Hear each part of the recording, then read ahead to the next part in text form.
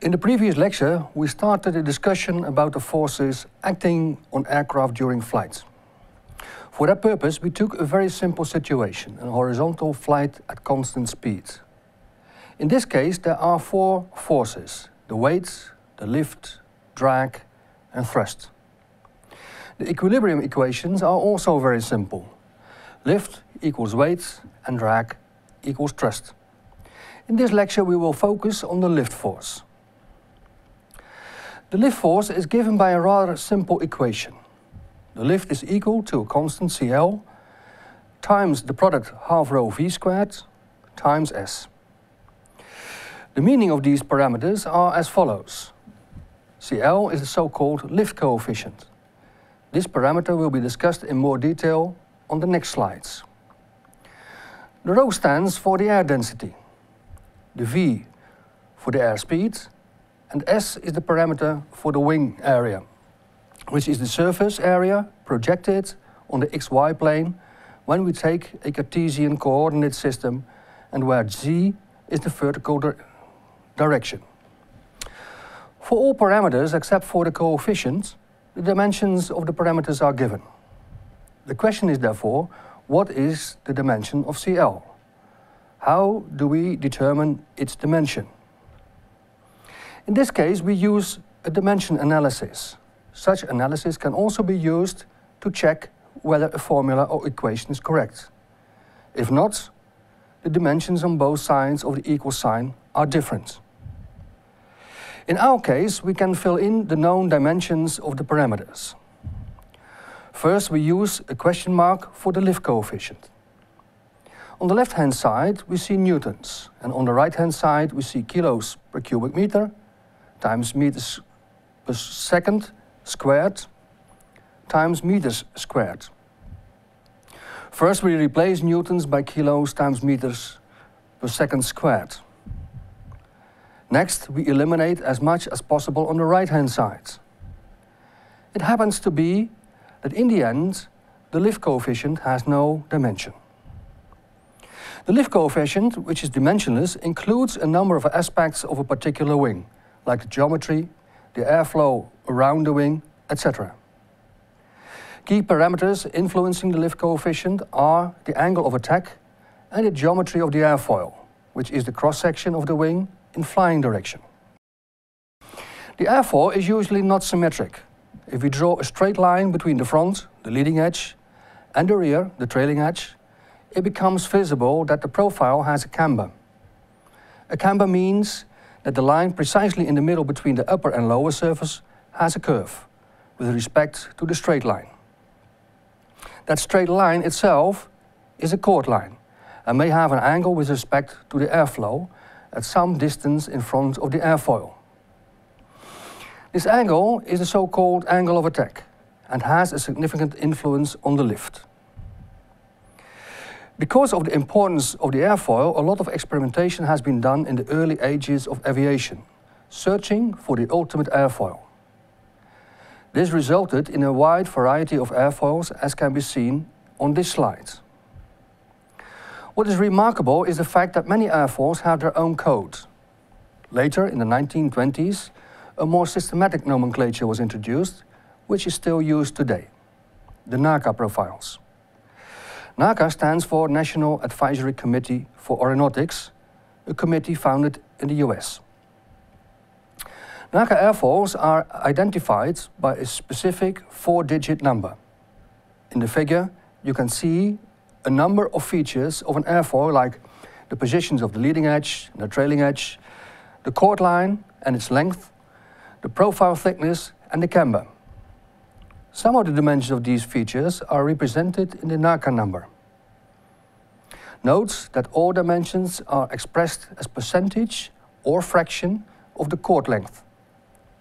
As example, NACA 2412. The first two means that the profile has a camber of 2%, so it has a maximum distance of 2% times the chord length between camber and chord line. The second digit in the number indicates the position of that camber with reference to the leading edge, 0.4 times or 40% of the chord length.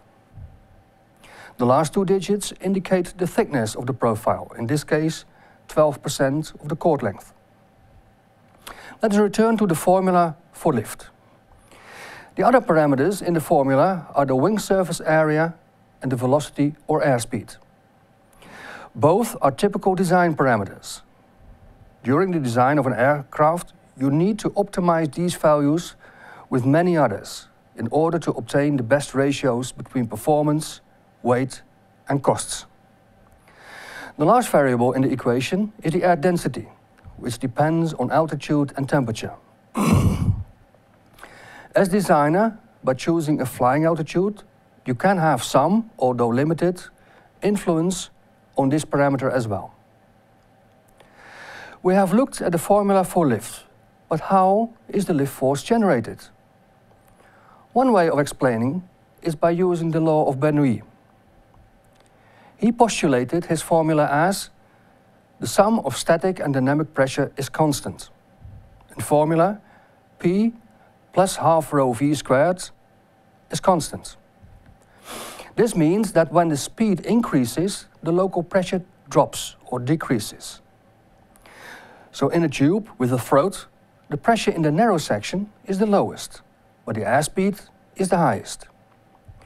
This explanation tells that pressure differences can be created by differences in airspeed. These pressure differences can be used to create lift. Note that Bernoulli's law is applicable for particular situations only, for example for low airspeeds and incompressible media. So for an airfoil, the airspeed over the airfoil is usually higher than the airspeed below the airfoil. This is due to the camber of the airfoil and the angle of attack as can be seen in the first picture. This results in a pressure distribution and can be seen in the second picture. There is some overpressure under the airfoil, but significant underpressure at the upper surface of the airfoil. This pressure distribution results in a lift force and a drag force. With the program NASA FoilSim, and I recommend you, you will play with it, you can play with many different parameters of the airfoil and the angle of attack and see what the effect is on the lift force. Can we use Bernoulli's law to measure the airspeed? If we look at the formula, we see that the total pressure is the pressure for zero airspeed. In a pitot tube, we can make several small holes. One hole is in front of the tube, head-on in the airflow. The air enters the tube from the left-hand side and comes to a standstill. So here we measure the total pressure. Further, we can make several holes at the side of the tube. They measure the local pressure, a pressure in an airflow with velocity v. The difference between the total and static pressure can be used to calculate the velocity as demonstrated by the equation. When we return to the lift coefficient, we said that the coefficient depends on the angle of attack of the wing. This is expressed in a lift curve. For such curve, we plot the value of CL as function of the angle of attack alpha. Most wing profiles have a camber. This means that at a negative alpha or alpha is zero, there is already a lift force available. When increasing the angle of attack, the lift coefficient increases more or less linear with alpha. Look also at the simulations when the flow around the airfoil changes and the lift force increases steadily. Just before its maximum, the curve becomes less linear, and ultimately the maximum coefficient is obtained. A further increase in angle of attack results in a fast decrease of the lift coefficient. This is what we call the stall of the wing. In this case, the lift force drops. And look also again at the airflow around the airfoil which separates. At landing and takeoff, we fly at low airspeeds. As you can see in the formula, this has a large impact on the lift force. Question is what to do. Because the weight of the aircraft does not change. In order to compensate for a lower value of the airspeed, the other parameters should increase. The air density is beyond our control, although most airfields are at low altitudes and therefore the density has rather high values, which helps.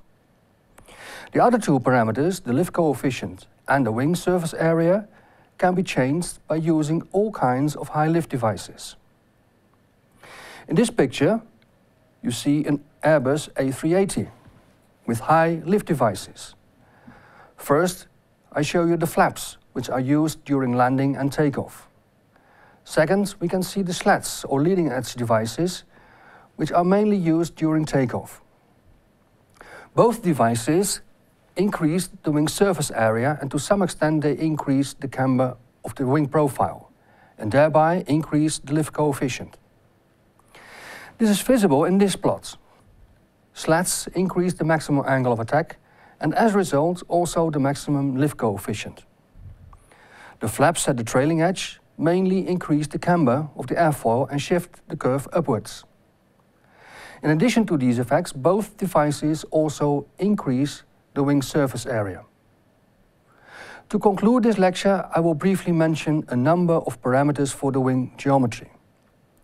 Most of these are optimized during the design of the wing and will have an impact on the lift coefficient and thereby on the lift force.